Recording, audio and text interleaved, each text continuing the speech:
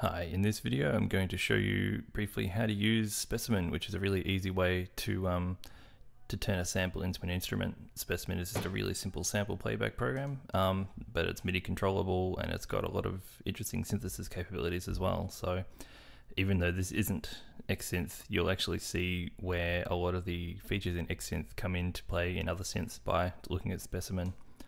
Um, here I've got, well, the first thing to do really is to prepare the sample that you're going to use to turn into an instrument. Here I've got a recording in Audacity of a flute performance. Um, I'm just going to take this sample here and we'll just quickly prepare that. So I'll copy and paste that into a new project. It's in mono already. Um, if it wasn't in mono, I'd probably convert it to mono, um, just because that's that's easy to work with. We'll amplify that to maximum amplitude. That looks pretty good. And we'll zoom in and make sure we trim up the start and the end. do that with the delete key. Um, you can also, just to make sure that there's no sort of sudden clicks where the, the audio starts at the start, you can just select the first sort of really small smidge of audio and do a fade in effect and the same at the end do a fade out. If we play this audio file now, nice simple flute sound. Cool, that's exactly what we want. So I'll just export that out to the desktop.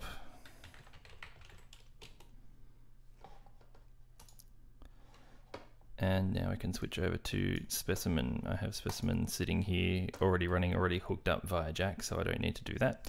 Um, to start with specimen, basically just need to create a new patch. So we'll add a patch here and call it, it seems like an appropriate name. And we can load the sample in. So here we are, flute sound.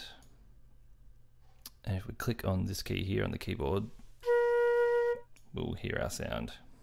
Now this keyboard represents where the sound is or where the sound can be played on the keyboard. There are three things of note here. You can actually see one of them at the moment, which is the center note. That's the note that is basically considered the the note that is in the recording. So I know, for instance, that I was playing a B flat when I recorded that tune. That that note is a B flat. So I hit the middle mouse button just here above the B flat key to mark that as the center frequency, so that when I hit a B flat here sounds like a B flat because that's what was in the recording. Now to extend the range, if I click on any of these other ones, they currently don't make any sound. So I just have to click the left mouse button. I'll give myself a few octaves or a couple of octaves. Click down to there with the left mouse button and with the right mouse button, click up the range. Now I can play any of these notes. Probably wouldn't want to go any lower than that, or even as low as that, really. But we'll, we'll leave it in for, for the sake of fun. Um, and up the top. Now, there's a couple of things to note here with the sound. I can, I've already got this hooked up to my MIDI keyboard as well, so I can now play it on the keyboard.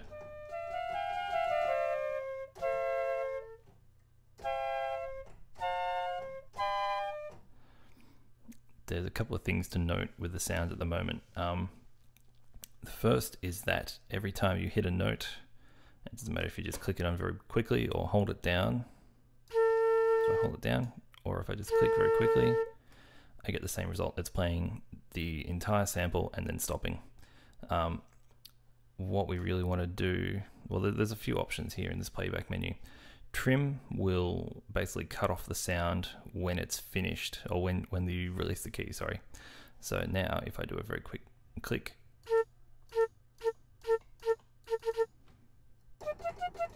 same on the MIDI keyboard. Um, it stops the sample mid-sample if it's still playing when you take your finger off the key. Um, now, the, the other thing is that these samples, if I hold it down, hold down a key, it will play the whole sample still. Now the problem is that that sample is actually fairly short. So if I'm trying to sustain a note, I just can't do it, especially if you're playing a very fast note or a very high note, sorry, because higher pitches are just achieved by playing the sample back faster.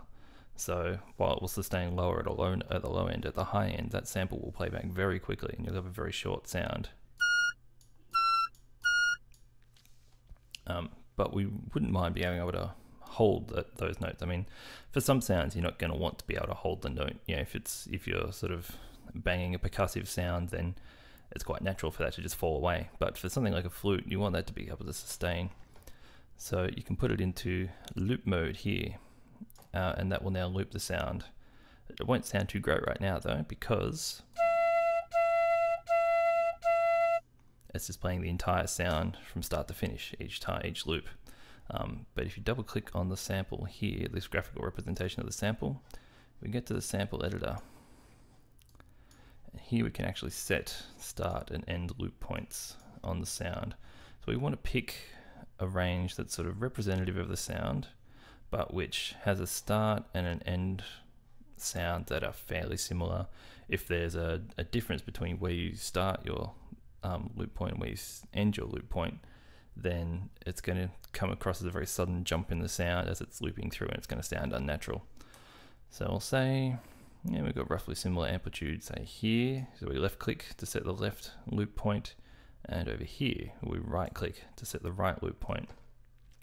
We can hit this play button here to hear what it sounds like.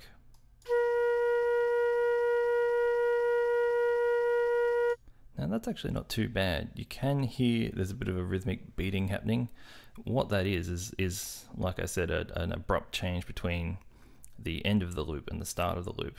Um, how the sound plays through, by the way, is that it starts at the start, goes through to the end loop point, and then loops back to the start, and then it just loops these bits continuously from then on. Um, so you still do get this attack phase. It doesn't. The sound doesn't start here when you hit the key. It starts back here still. Now, to refine the loop points a bit to try and eliminate that beating, you can zoom in.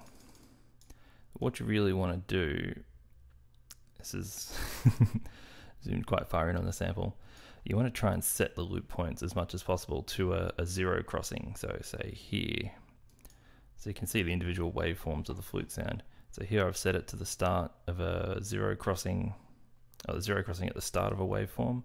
If I scroll along the sound to the end loop point. I'll do the same thing here, remembering that it's the right button to click here, otherwise you'll end up setting your left loop point here and you're not going to be very happy. Now if we play,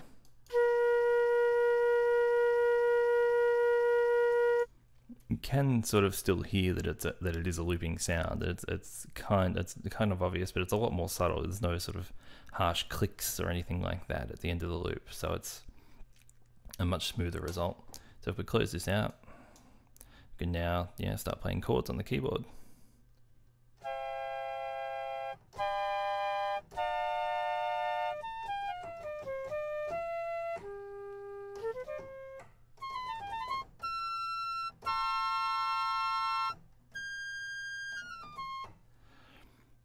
So that's kind of cool. That actually works pretty well now. So I've got a flute sound and it's it's working pretty well.